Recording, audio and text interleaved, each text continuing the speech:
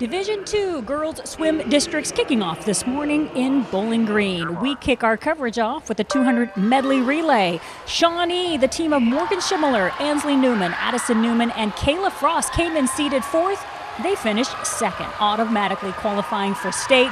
Kayla Frost a little bit happy there, both with her split and the fact that her team's heading to Canton. In the 200 freestyle, New Bremen senior Annie Jiang finishes in third place, which auto qualifies her for Canton. Her time was 157.99 in the 200 IM.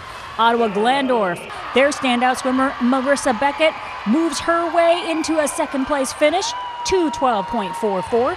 Marion Locals Kylie Niekamp was third in 213.78. They both have qualified for state. The 50 freestyle, Addison Newman from Shawnee. Can she punch her second state ticket? The answer is yes. Second place with a time of 24.04. Bryan's Nora Kunzman is also heading to state with third place with a time of 24.19. Addison's not too sad there about her time. 100 fly, this is the race of the day. Ada's Lily Baumgardner crushes the competition. First place finish. The sophomore is heading back to state, time of 55.46. But there's more.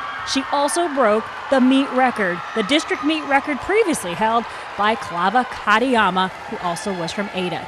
Napoleon gets a state qualifier in the 100 free, Hannah Nagel third in 55.53. Wauseon's Reese Ankeny heading back to state in the 500. She got first place, 520.43. In the 100 back, it's Baumgardner, second place. She's going to state. Tegan Forkham from Fort Recovery was third. Morgan Schimmeler of Shawnee fourth. Arlie Spork of Elida fifth. This is the 100 breast, and Shawnee's Addison Newman is heading to state in a third event. She's third place with a time of 107.19.